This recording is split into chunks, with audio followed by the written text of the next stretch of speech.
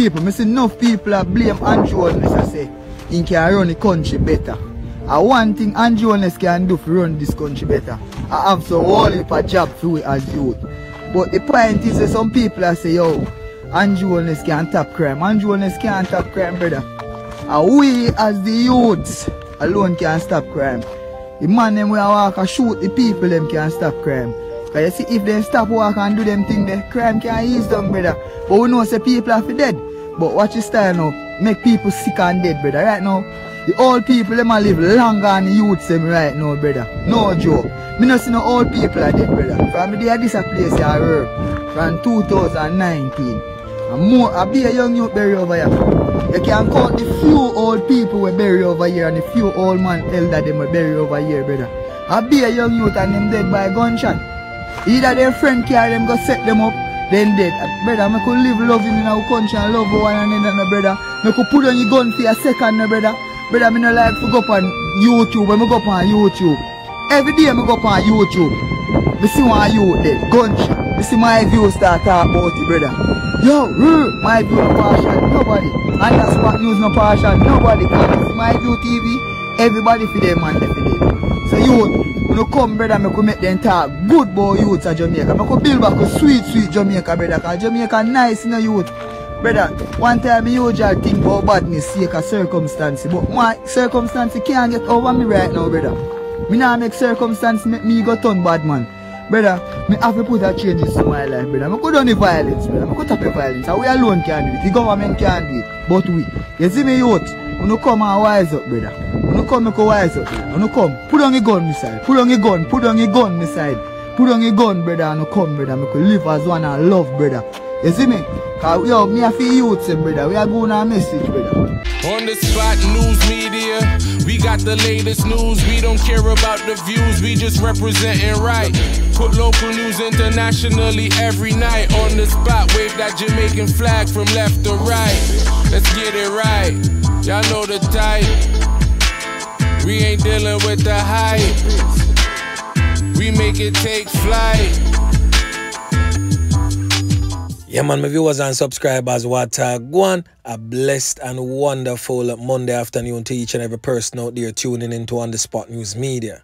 Now, my peeps, I have a few stories to share with you, the regular members of Chan Public and also members of the diaspora. So please like the video, share the video, watch the entire vlog so you can get a full understanding and a better appreciation of everything we are going in a Jamaica. So for those who have made it into Monday, boy, may I tell you, let us all take a pause and give thanks and praise to the Most High Creator for the preservation of life. Because life is indeed the greatest. Once you have life, my peeps, we have everything. Yeah, man. And to the ones and ones them will literally I take life for granted, going around wantonly and taking the life of others. Me are telling you, you know, one day, one day, your time I go come. Yeah, man.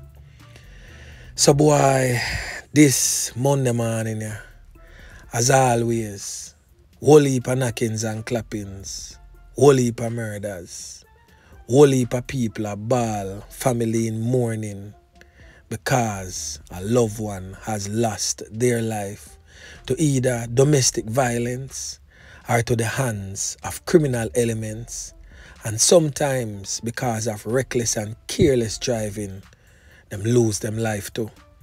But whatsoever the circumstances may be for you this morning who is in mourning, I just want to offer my most sincere condolences to you and the family.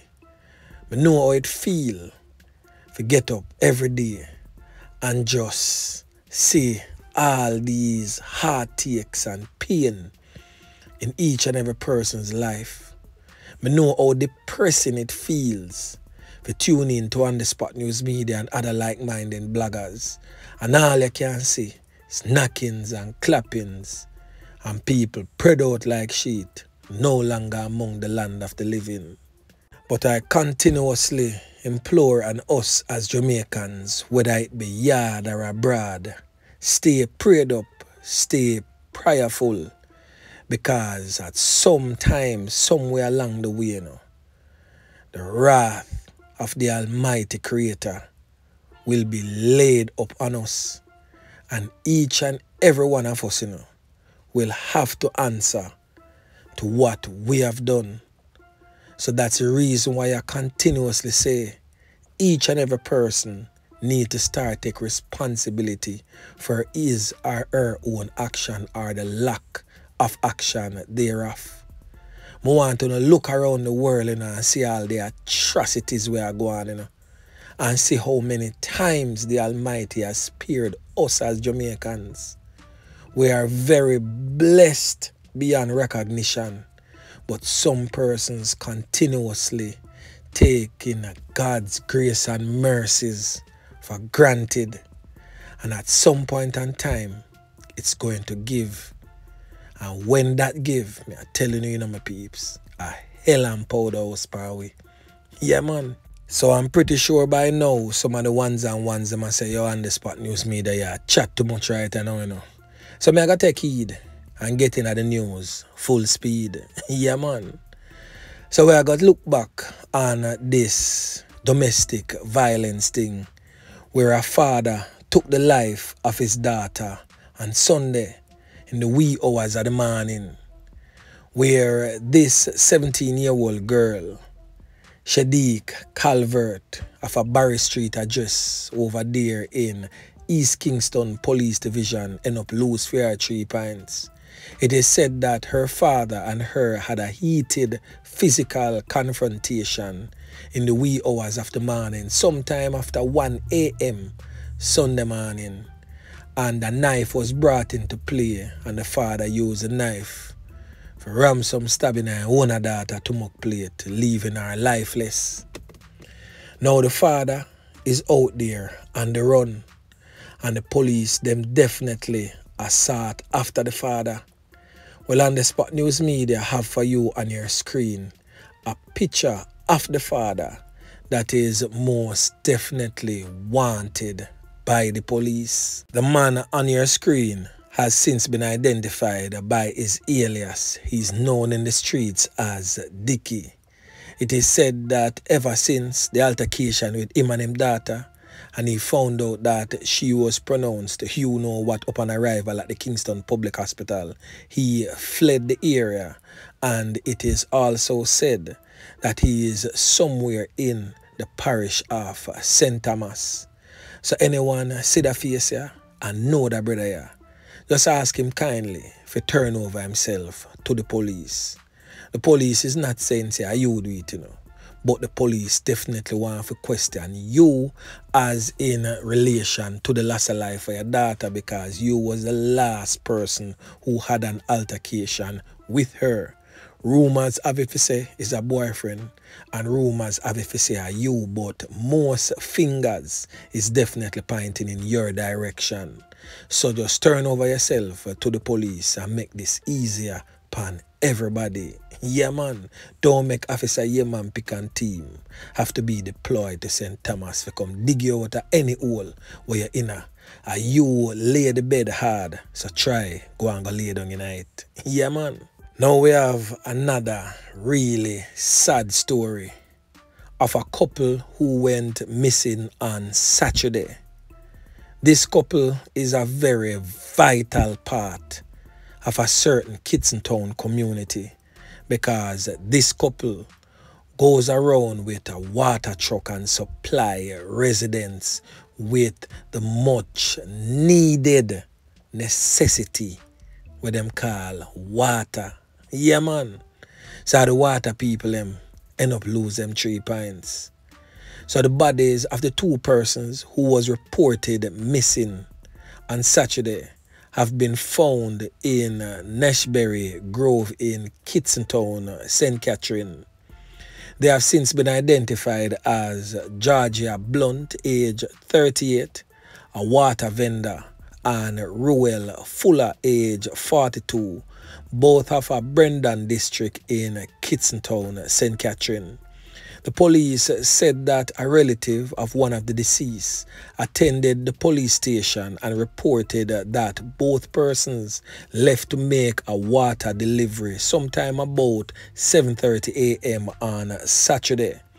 Now it is said that about 1:30 p.m. the same day, the female called and revealed that they were about to make the last delivery and then she and the man will definitely be heading home. The two have not been seen or heard from since and the report was made to the police who assisted with searches.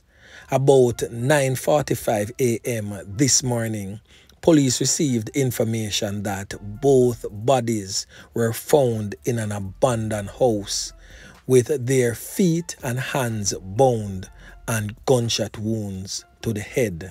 Boy, may I tell you, them deal with them grimy, definitely slaughteration that boy.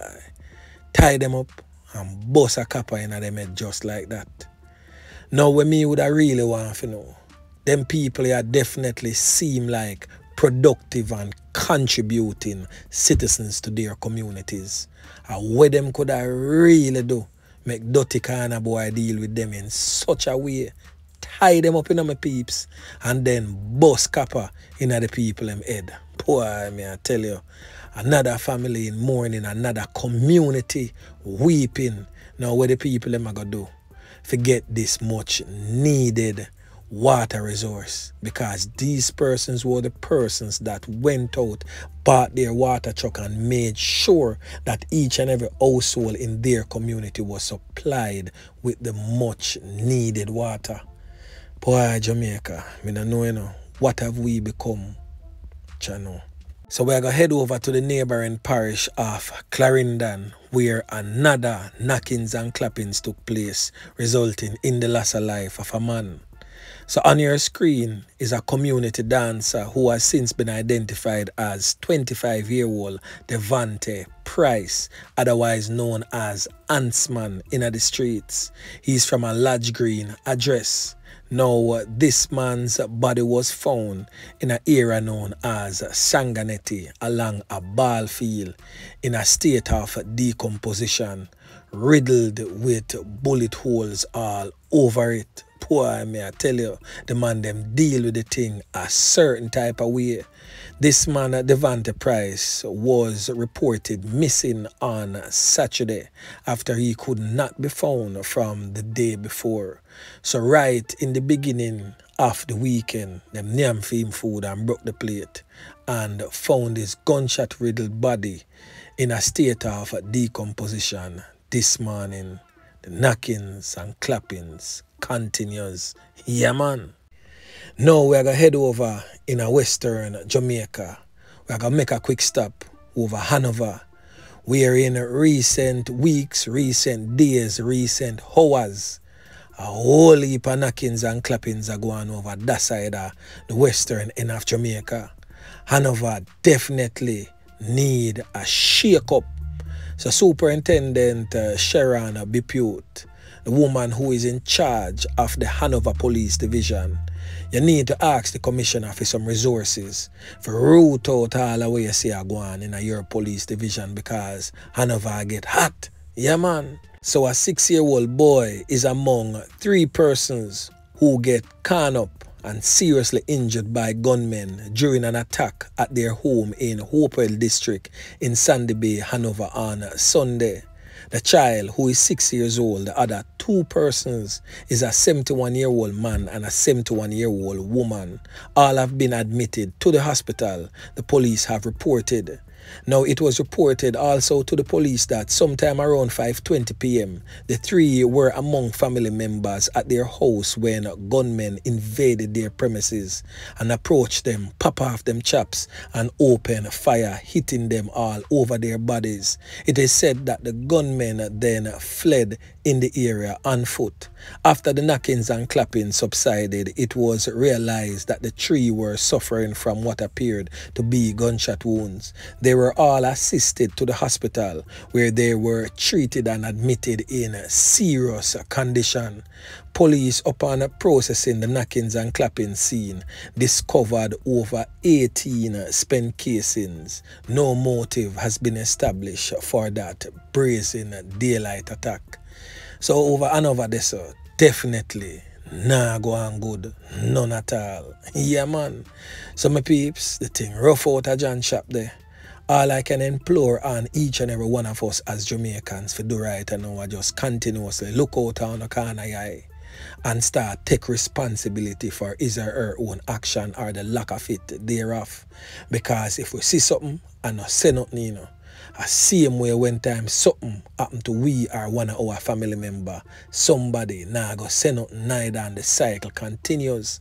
And guess who will remain victorious? The criminal elements.